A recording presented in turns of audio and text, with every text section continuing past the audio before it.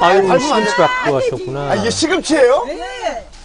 이야, 어머니. 네. 이 지금 이쁜 시금치를 따시면서 네. 뭐가 이렇게 즐거우셔서 노래를 하셨어요? 비록 시금치 채소금은 싸지만 농한기 때 일을, 일을 할 수 있다는 그런 점과 또 몸이 튼튼하니까 즐겁고 네. 옛날 같지 않고 지금은 일을 하면서 즐겁게 자기 취미 생활을 할 수 있다는 그런 일이 있기 때문에 다 즐겁게 삽니다.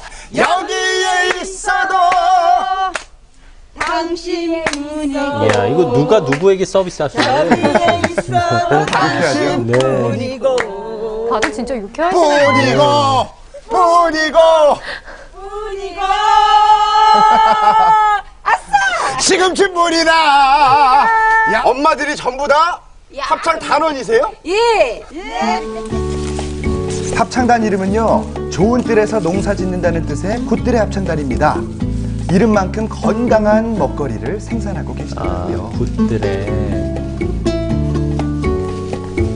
이 정말 시금치 하시면서 농사 지시면서 예. 우리 굿들의 합창단을 만든 계기가 있으세요?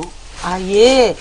어, 제가 농사를 짓다 보니까 여가 활동을 할 수가 없어가지고, 어, 우리 여성 농촌에서 진짜 우울증도 많이 걸리고 그런 여성들이 할 수 있는 게 뭔가 하고 생각하다가, 어, 마침 신문을 보니까 서울 희망재단에서, 어, 합창단원을, 단들을 전국으로 농어촌 여성들을 모집을 하고 있더라고요.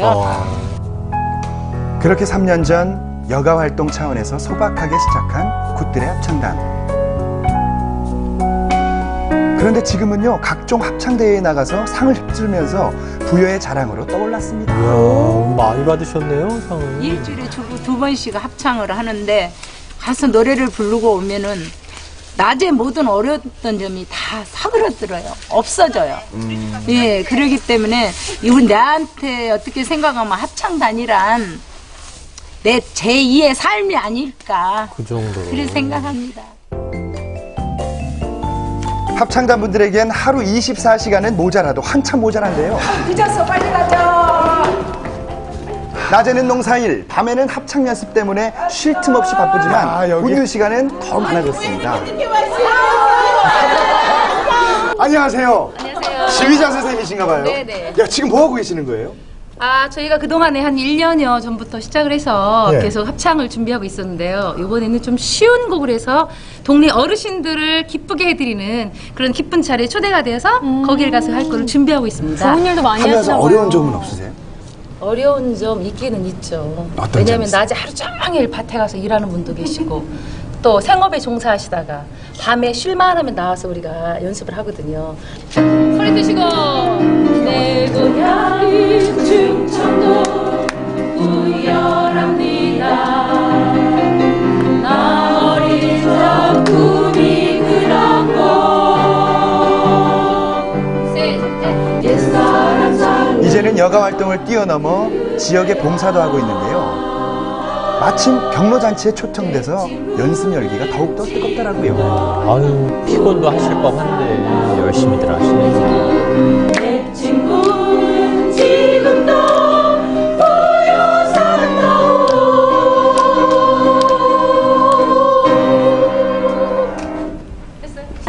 우리 희순 씨가 우리 굿들의 합창단에서 엄청난 역할을 한다고. 그나저나 어떤 역할을 해요? 아, 글쎄요.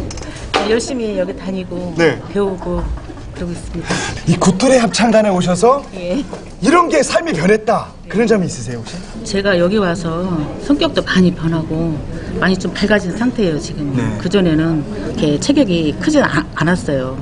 근데 이제 애 낳고 나서 어, 갑자기 막 체중이 많이 불어가지고, 예, 갑자기 많이 불어가지고 아유, 밖에 나가기도.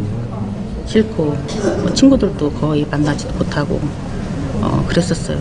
그래가지고 그게 제일 큰 적이고 최고로 저기도 한 3, 4년 정도 좀 했던 것 같아요. 3, 4년 동안. 네, 거의 친구도 못 만나고 네, 그랬었어요. 그, 그러고다가 이제 여기를 번의를 해서 어, 나와 보니까 어, 다들 잘해주시는 거예요.